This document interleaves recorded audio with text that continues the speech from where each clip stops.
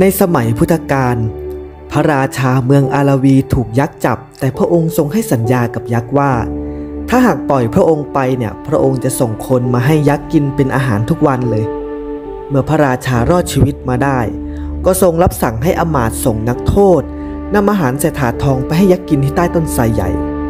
เมื่อนักโทษผู้เคราะห์ร้ายไปถึงโคนต้นไทรก็จะถูกยักษ์จับกินเป็นอาหาร ต่อมาเมื่อเรือนจำหมดนักโทษ พระราชาทรงรับสั่งให้นำเด็กทารกเกิดใหม่ ส่งไปให้ยักษ์กินทำให้หญิงที่ใกล้จะคลอดลูกเนี่ยต้องหลบหนีไปคลอดลูกที่อื่น เหลือแต่อาละวะกุมารเพียงพระองค์เดียว ถึงกระนั้นพระองค์ก็ยังตัดสินใจให้นำพระกุมารส่งไปให้ยักษ์กิน ในขณะนั้นเนี่ยพระพุทธเจ้าประทับอยู่ที่วัดพระเชตวันมหาวิหาร ทรงตรวจดูสัตว์โลกในเวลาใกล้ลุ่งด้วยพุทธจักขุ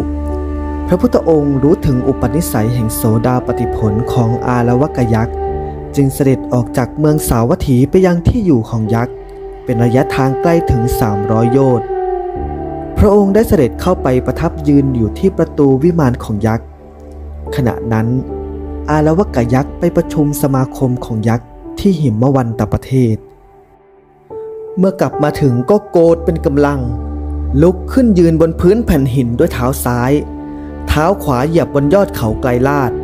ทำลมให้ตั้งขึ้นโดยคิดว่าจะทำลายพระพุทธเจ้า ลมพายุใหญ่ได้ถาโถมพุ่งตรงไปยังอาราวีนครทำให้สถานที่ต่างๆเนี่ยพังพินาศแหลกลาน พัดหลังคาบ้านคนนี่ปลิวว่อนไปในอากาศ พระพุทธเจ้าก็ทรงอธิษฐานว่า ขอภัยพิบัติอย่าได้มีแก่ใครๆ ด้วยแรงอธิษฐานนั้น จึงทำให้พายุใหญ่ทำอันตรายใด ๆ ผู้คนไม่ได้ เมื่ออาละวะกยักษ์ถึงปากถ้ำก็ได้ทำหาฝนให้ตกลงด้วยคิดว่า จะให้น้ำท่วมพระองค์ให้ตาย ฝนก้อนเมฆตั้งร้อยตั้งพันก่อตัวขึ้นแล้วตกลงมา ด้วยความแรงของน้ำฝนเนี่ยแผ่นดินก็แตกเป็นช่องๆแต่ก็ไม่อาจทำให้แม้จีวรของพระองค์เนี่ยเปียกได้เลย อาละวะกยักษ์บันดาลฝนแผ่นหิน ฝนเครื่องประหาร ฝนถ่านเพลิง ฝนขี้เถ้าฝนทราย ฝนเปลือกตมให้ตกลงมา แต่ฝนเหล่านั้นเนี่ยก็กลับกลายเป็นทิพมาลา กลายเป็นดอกไม้หอมฟุ้งขจรขจายบูชาพระพุทธองค์ ครึ่งคืนผ่านไป ยักษ์ก็ยังไม่สามารถเอาชนะได้ จึงนำทุตสาวุธ ซึ่งเป็นศาสตาวุธมหาปลัย ยกชูขึ้น เหาะเวียนวนอยู่ใกล้ๆ พระผู้มีพระภาคเจ้า ปล่อยอาวุธไปในอากาศ ทุตสาวุธมีเสียงน่าสะพึงกลัวแล่นไปในอากาศประดุดสายฟ้า แต่ครั้นมาใกล้พระพุทธองค์ ก็กลับกลายเป็นผ้าเช็ดพระบาทตกลงที่เบื้องพระบาท อาละวะกยักษ์เห็นดังนั้นแล้วน่ะก็ยังไม่หมดหวัง รีบตรวจดูว่า เหตุใดหนอ พระสัมมณะรูปนี้จึงไม่กลัว ในที่สุด ตนก็รู้ว่า เพราะพระผู้มีพระภาคเจ้าทรงตั้งอยู่ในเมตตาธรรม จึงคิดจะทำให้พระองค์เนี่ยโกรธเคืองโดยการขับไล่พระพุทธองค์ให้ออกไปในทันที เมื่อยักษ์ขับไล่เช่นนั้น พระองค์ทรงเสด็จออกไปโดยดี อาละวะกยักษ์เห็นดังนั้น ก็เริ่มมีจิตอ่อนโยนด้วยคิดว่า สมณะนี้เนี่ยว่าง่ายจริง เราบอกคำเดียวก็ออกไปแล้ว เราสามารถชนะสมณะนี้ได้ด้วยคำพูดเพียงเท่านี้ เสียแรงอุตสาห์ต่อยุทธกับสมณะนี้อยู่ตั้งครึ่งตั้งค่อนคืนด้วยอาวุธร้ายแรง ยักษ์ทดสอบให้พระบรมศาสดา เสด็จเข้าออกเช่นนี้ถึงสามครั้ง เพื่อดูว่าพระองค์เป็นผู้ว่าง่ายจริงหรือเปล่า ครั้งที่สี่ยักษ์เกิดความคิดชั่วว่า เราจะทำให้สมณะนี้ลำบากตลอดคืนด้วยการเข้าเข้าออกออย่างนี้แหละ จึงสั่งว่า ท่านจงออกไปเถอะสมณะ พระผู้มีพระภาคเจ้าก็ตัดตอบไปว่า เราไม่ออกไป ท่านจงกระทำกิจที่ท่านควรทำเถิด เมื่อเห็นพระผู้มีพระภาคเจ้าไม่เสด็จออกไปตามคำสั่ง จึงตั้งใจจะถามปัญหาที่ค้างใจมานาน เนื่องจากอาละวะกยักษ์เคยถามปัญหากับดาบท และปริพาชกที่มีฤทธิเดชที่มาสู่วิมานของตน ครั้นตอบไม่ได้เนี่ยยักษ์ก็จะควักหัวใจของท่านเหล่านั้นมาขยี้ทิ้งจนหมด ยักษ์นึกถึงปัญหาเหล่านั้นได้เนี่ยก็รีบทูลถามพระบรมศาสดาว่า ดูก่อนสมณะข้าพเจ้าจะถามปัญหาท่าน ถ้าท่านตอบไม่ได้ ข้าพเจ้าจะควักเอาดวงจิตของท่าน ฉีกเอาหัวใจของท่าน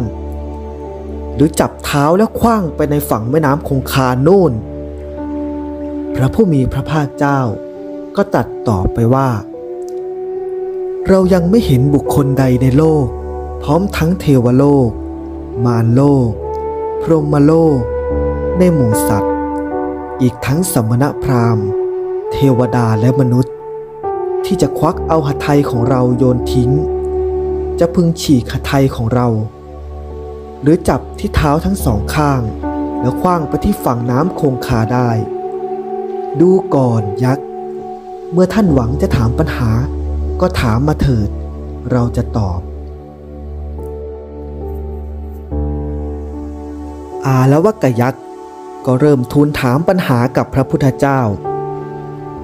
อะไรหนอเป็นทรัพย์เครื่องปลื้มใจอันประเสริฐของคนในโลก อะไรหนอ ที่บุคคลประพฤติดีแล้วนำความสุขมาให้ อะไรหนอ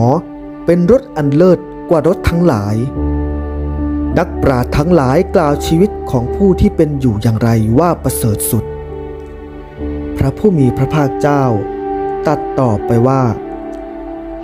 ศรัทธาเป็นทรัพย์อันประเสริฐของคนในโลกนี้ทำอันบุคคลประพฤติดีแล้วนำสุขมาให้ ความสัตย์ เป็นรถอันล้ำเลิศ นักปราชญ์ทั้งหลายกล่าวชีวิตของผู้ที่เป็นอยู่ด้วยปัญญาว่าประเสริฐสุด อาลวกยักษ์ทูลถามไปอีกว่า คนข้ามโอคะได้อย่างไร ข้ามอันนบได้อย่างไร ล่วงทุกได้อย่างไร บริสุทธิ์ได้อย่างไร พระผู้มีพระภาคเจ้าตัดตอบไปว่า คนข้ามโอคะได้ด้วยศรัทธา ข้ามอันนบได้ด้วยความไม่ประมาทล่วงทุกได้ด้วยความเพียร บริสุทธิ์ได้ด้วยปัญญา อารวกยักษ์ได้ถามปัญหาที่ลึกซึ้งขึ้นไปอีก เมื่อได้ฟังคำตอบ ใจก็ยิ่งเพิ่มพูนศรัทธาประสาทะในพระพุทธองค์ หลังจากตั้งใจสดับธรรมะทุกข้อที่พระองค์ทรงตอบ ในที่สุดเนี่ยอารวกยักษ์ก็ได้บรรลุเป็นพระโสดาบัน เป็นผู้มั่นคงต่อหนทางพระนิพพาน กลายเป็นยักษ์ใจดีสำรวมระวังในศีลยึดมั่นในพระรัตนตรัยเป็นที่พึ่งตลอดชีวิต เราจะเห็นได้ว่า กว่าพระผู้มีพระภาคเจ้าเนี่ยจะสั่งสอนบุคคลให้เกิดความเลื่อมใส และยอมลงมือปฏิบัติธรรมจนได้บรรลุธรรมนั้นเนี่ยก็ต้องใช้กุศโลบายต่างๆ อย่างมากมายทีเดียว ไม่ว่าจะเป็นอิทธิปฏิหาร ให้เห็นถึงพุทธานุภาพ หรืออาเทศนาปฏิหารดักใจผู้ฟัง หรืออนุสาสนีปฏิหารแสดงธรรมอย่างพอเหมาะพอดีแก่จริตอัธยาศัยของผู้ฟังทำให้มีผู้บรรลุธรรมตามพระองค์เนี่ยมากมายนับไม่ถ้วนเลย อีกทั้งพระพุทธองค์เนี่ยก็ยังเป็นยอดนักเสียสละ รู้ว่าใครมีบุญที่พร้อมจะเข้าถึงธรรม พระองค์ก็จะรีบเสด็จไปโปรดโดยไม่เห็นแก่ความเหน็ดเหนื่อยยากลำบาก และชัยชนะของพระพุทธเจ้าที่มีต่ออาลวกยักษ์ในครั้งนี้นะครับ ก็ปรากฏอยู่ในบทพุทธชัยมงคลคาถาบทที่สองที่ว่ามาราติเรกมพิยุตชิตสัพพรัตทิง โครัมปนาละวกมักขมทัตทยักขัง ขันตีสุทัน ตวิธินาชิตวามุนินโท ตันเตทสาภวตุเตชยมังคลานิ พระจอมมุนีได้ชัยชนะต่ออาลวกยักษ์ผู้มีจิตสันดานหยาบกระด้าง ปราศจากความอดทนมีฤทธิ์มาก ได้เข้ามาต่อสู้จนตลอดทั้งคืน ด้วยวิธีทรมานอย่างดีคือพระขันติธรรม ด้วยเดชแห่งชัยชนะของพระพุทธเจ้านั้น ขอชัยมงคลจงมีแก่ท่านเถิด